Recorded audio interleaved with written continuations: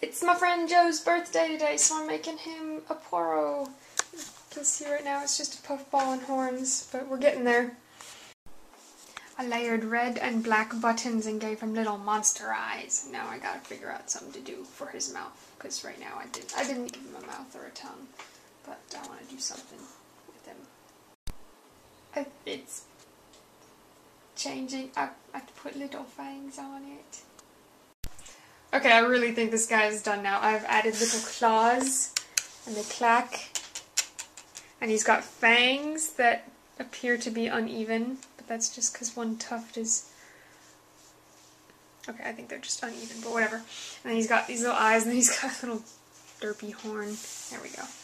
There we go, his little monster thing. He's for Joe's birthday, because he doesn't play LOL, so I couldn't make him a real Poro. His eyes are uneven, too. He just, he's all over the place, this guy. That's a little better.